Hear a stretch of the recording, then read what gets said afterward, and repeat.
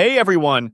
Welcome back to the channel. Today we've got some exciting news for all you virtualization enthusiasts out there. Oracle has just released a new version of their popular open source virtualization software, VirtualBox 7 0.20.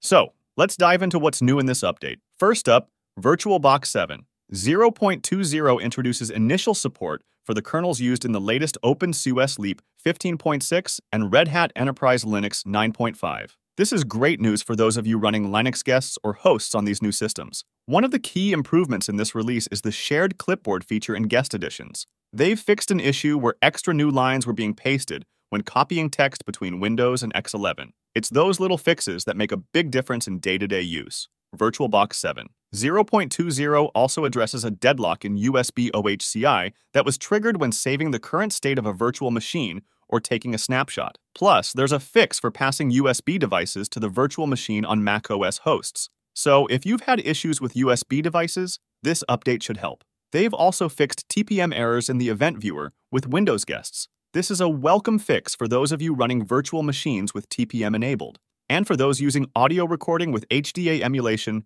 VirtualBox 7.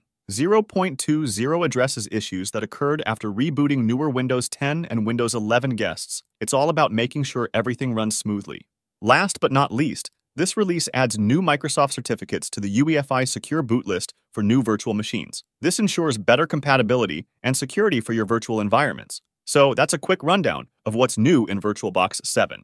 0.20. For all the technical details and a full list of fixes, be sure to check out the changelog on the official website. You can download this update as a binary for pretty much any GNU Linux distribution, as well as for Windows, macOS, and Solaris systems. Thanks for tuning in. If you found this video helpful, don't forget to like, subscribe, and hit that notification bell so you don't miss any updates. See you in the next one.